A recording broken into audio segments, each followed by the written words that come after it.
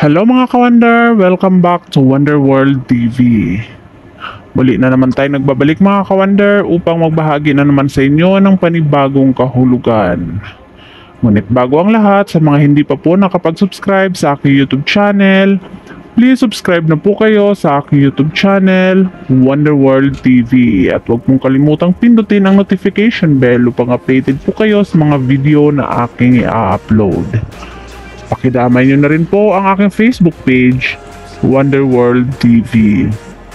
Ayan mga ka-wonder. Ang aking babahagi sa inyo na kahulugan ay ang kahulugan tungkol sa isang panaginip ng zebra. Yes, zebra mga ka-wonder.